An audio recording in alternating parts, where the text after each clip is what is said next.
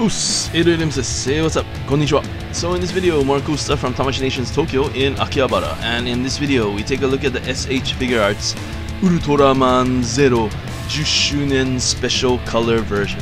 And what that is is Ultraman Zero, the 10th anniversary special color version. And this is one of the limited edition um, Tamashii Nation 2020 special items, commemorative items and this one is coming out for a price of Roxen Gojuin, which is uh, 6,050 yen. But yeah, looking pretty cool. Um, if you're a fan of Ultraman Zero, you might think this is cool. Anyway, thanks for watching. Feel free to rate, comment, and subscribe. And see you again soon. Domo. Arigatou gozaimasu. Mata imashou.